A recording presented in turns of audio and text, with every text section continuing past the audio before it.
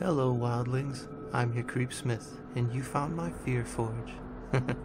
Lucky you. The Telltale Heart by Edgar Allan Poe. True. Nervous. Very, very dreadfully nervous I had been and am, but why will you say that I am mad? The disease had sharpened my senses, not destroyed, not dulled them. Above all was the sense of hearing acute. I heard all things in the heaven and in the earth, and I heard many things in hell. How then am I mad? Hearken and observe how healthily, how calmly I can tell you the whole story. It is Impossible to say how first the idea entered my brain, but once conceived, it haunted me day and night. Object there was none. Passion there was none. I loved the old man. He had never wronged me. He had never given me insult. For his gold I had no desire. I think it was his eye. Yes, yes, it was this.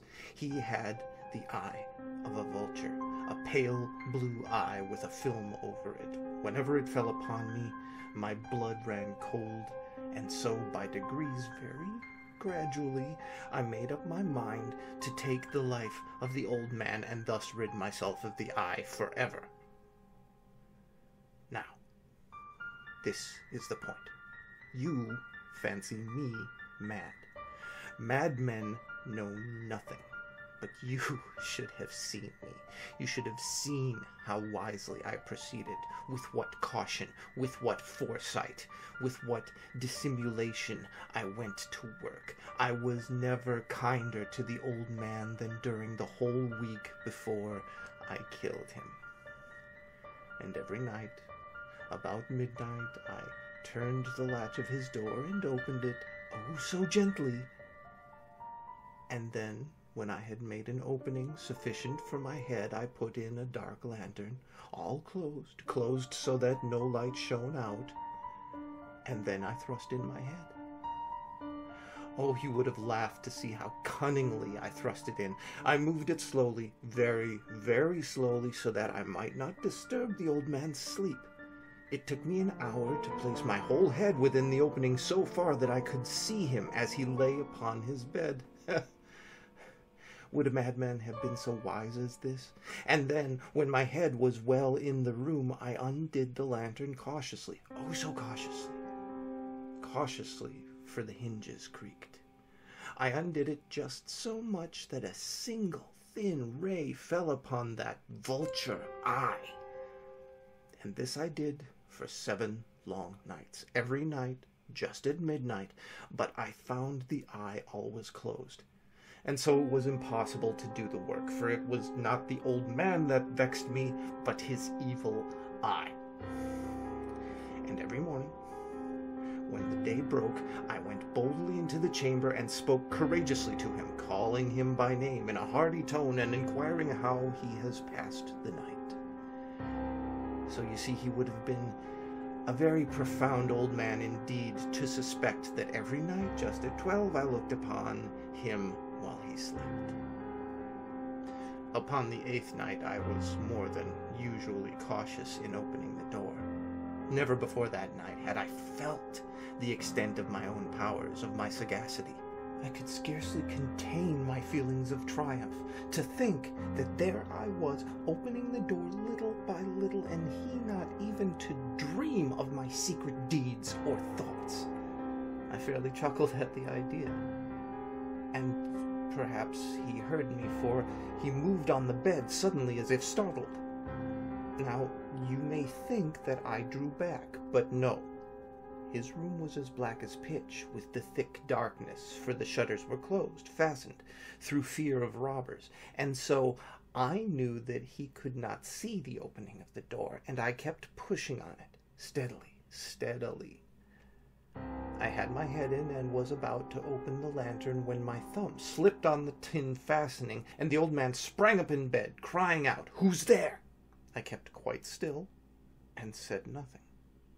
For a whole hour, did I not move a muscle, and in the meantime I did not hear him lie down. He was still sitting up in bed, listening, just as I have done night after night, hearkening to the death watches in the wall. Presently I heard a slight groan, and I knew it was the groan of mortal terror. It was not a groan of pain or of grief, oh no. It was the low, stifled sound that arises from the bottom of the soul when overcharged with awe. I knew the sound well. It, many a night, just at midnight, when all the world slept, it has welled up from my own bosom, deepening with its dreadful echo the terrors that distracted me. I say I knew it well. I knew what the old man felt, and I pitied him, although I chuckled at heart. I knew that he had been lying awake ever since that first slight noise when he had turned in the bed. His fears had been ever since growing upon him. He had been trying to fancy them causeless, but he could not. He had been saying to himself, It is nothing but the wind in the chimney. It's only a mouse crossing the floor, or it is merely a cricket which has made a single chirp. Yes, he had been trying to comfort himself with these suppositions, but he had found all in vain. All in vain because death, in approaching him, had stalked with his black shadow before him and enveloped the victim and it was the mournful influence of the unperceived shadow that caused him to feel, though he never saw nor heard, to feel the presence of my head within his room. When I had waited a long time, very patiently, without hearing him lie down, I resolved to open a little, a very, very little crevice in the lantern. So I opened it. You cannot imagine how stealthily, stealthily until at length a single dim ray like the thread of the spider shot from out the crevice and fell full upon the vulture eye.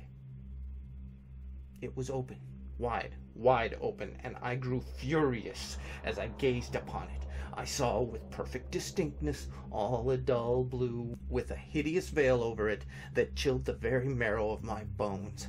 But I could see nothing else of the old man's face or person, for I had directed the ray, as if by instinct, precisely upon that damned spot.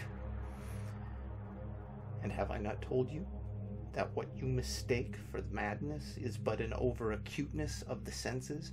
Now I say, there came to my ears a low, dull, quick sound, such as a watch makes when enveloped in cotton. I knew that sound well, too. It was the beating of the old man's heart. It increased my fury as the beating of a drum stimulates the soldier into courage. But even yet, I refrained and kept still. I scarcely breathed. I held the lantern motionless. I tried how steadily I could to maintain the ray upon the eye. Meantime, the hellish tattoo of that heart increased. It grew quicker and quicker and louder and louder in every instant. The old man's terror must have been extreme. It grew louder, I say, louder every moment. Do you mark me well? I have told you that I am nervous. So I am. And now at the dead hour of the night, amid the dreadful silence of that old house, so strange a noise as this excited me to uncontrollable terror. Yet for some minutes longer, I refrained and stood still. But the beating grew louder, louder.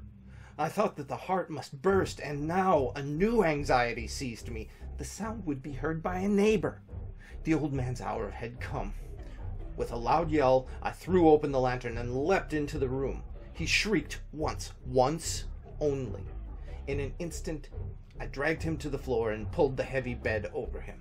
I then smiled gaily to find the deed so far done.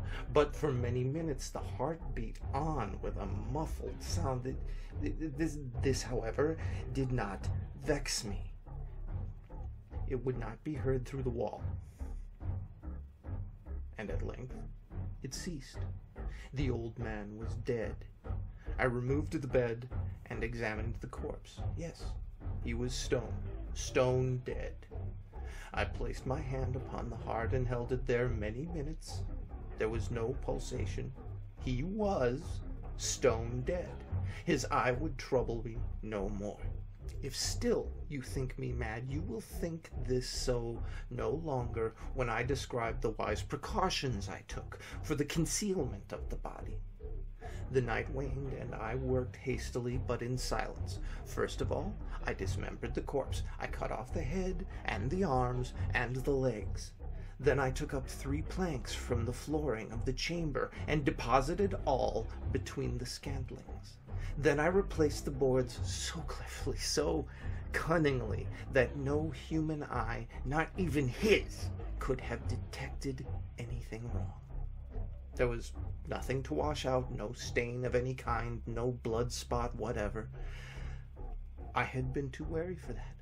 A tub had caught all. when I had made an end of these labors, it was four o'clock, still as dark as midnight. As the bell sounded the hour, there came a knocking at the street door. I went down to open it with a light heart, for what had I now to fear? There entered three men, who introduced themselves with perfect suavity as officers of the police. A shriek had been heard by a neighbor during the night. The suspicion of foul play had been aroused.